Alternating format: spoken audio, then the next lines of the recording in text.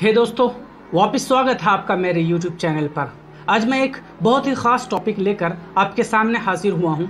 आज मैं आपको पेंडेमिक एपिडेमिक और इंडेमिक जैसे शब्दों में क्या अंतर है ये बताऊँगा।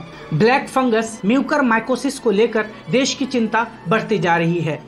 पहले से ही हम कोविड की मार झेल रहे हैं, ऊपर से एक नई बीमारी है इसके बढ़ते मामलों को देखते हुए राजस्थान सरकार ने सबसे पहले इसे महामारी घोषित किया है। वर्तमान में राजस्थान में इसके 700 से अधिक मामले आ चुके हैं। सरकार ने इस बीमारी को महामारी घोषित करते हुए अधिसूचना जारी कर दी है। किसी भी बीमारी को महामारी घोषित करने का सबसे बड़ा फ़ायदा यह है कि उसे ट्रीटमेंट के लिए ज़्यादा अटेंशन दिया जाता है। जब भी, जब किसी बीमारी को महामारी घोषित किया जाता है तो उसके रोकथाम के लिए बहुत सारे उपाय किया जाते हैं। सरकार और प्रशासन अलर्ट हो जाती है ताकि किसी भी तरह इस बीमारी को रोका जाए, जिससे वो महामारी घोषित किया गया है।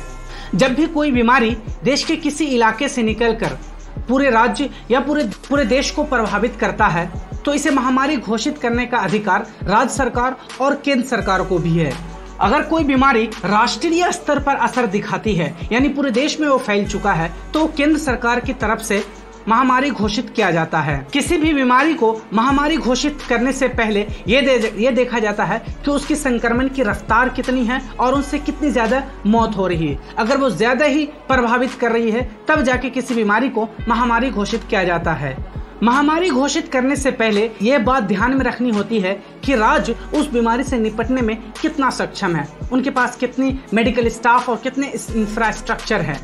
ऐसा इसलिए क्योंकि किसी भी बीमारी को महामारी घोषित करने से आम जनता में डर आ जाता है और अफरा तफरी मचने की भी संभावना होती है। लोग उस राज्य से प्लान करना शुरू कर जाते हैं, जिससे संक्रमण बढ़ने की और भी संभावना बढ़ जाती है। महामारी घोषित करने के बाद राज्य और देश पूरी तरह से अलर्ट पर आ जाता है और बीमारी की रोकथाम की कोशिशों में तेज़ी आ जाती है। महामारी घोषित करने के बाद बीमारी की रोकथाम और उसके प्रकार को जानने के लिए रिसर्च की जाती है। इसको लेकर लोगों में जागरूकता बढ़ाई जाती है। इसकी रोकथाम के सभी एहतियाती कदम उठाए जाते हैं। आपको याद होगा मास्क वेयर करना और सैनिटाइजर जैसे चीज़ों से लोगों को जागरूक कराया गया और लोगों से स्ट्रिक्टली ये पालन करवाया गया। इसी तरह किसी भी बीमारी को जब महामारी घोषित किया जाता है तो उससे जुड़े हुए रोकथाम कराए जाते हैं। उससे जुड़े लोगों को जागरूक किया जाता है, ताकि जल्दी से जल्दी हम बीमारी को रोक सकें। आपको याद होगा कि कोरोना वायरस को महामारी घोषित करने से पहले फरवरी 2020 में डब्ल्यू की तरफ़ से ये कहा गया था कि इसका संक्रमण तेज़ी से बढ़ रहा है, लेकिन अभी इसे वैश्विक महामारी घोषित नहीं किया जा सकता।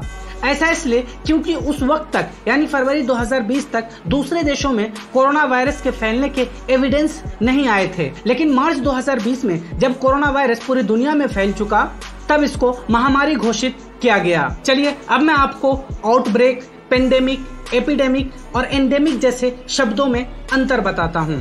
प्रकोप या आउटब्रेक क्या है? जब किसी क्षेत्र में अपेक्षा से अधिक बीमारी के मामले दर्ज किए जाते हैं तो इसे प्रकोप घोषित किया जाता है। यानी इसे आउटब्रेक कहा जाता है किसी पार्टिकुलर बीमारी का। जिस तरह वुहान में पहले कोरोना वायरस हुआ था तो वहाँ हम कहते थे कोरोना वायरस आउटब्रेक हुआ है वुहान में। लेकिन जब वुहान से बढ़कर वो पूरी चाइना और चाइना से बढ़कर वो पूरी दुनिया में फैला, तब इसे पेंडेमिक कहा जाने लगा।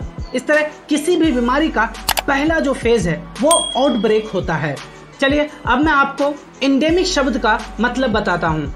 इंडेमिक रोग या एक ऐसा प्रकोप है जो एक निश्चित क्षेत्र या एक आबादी को प्रभावित करता है। चिकन पॉक्स को एक इंडेमिक रोग की श्रेणी में रखा गया है, क्योंकि ये ज़्यादातर यूथ में होता है।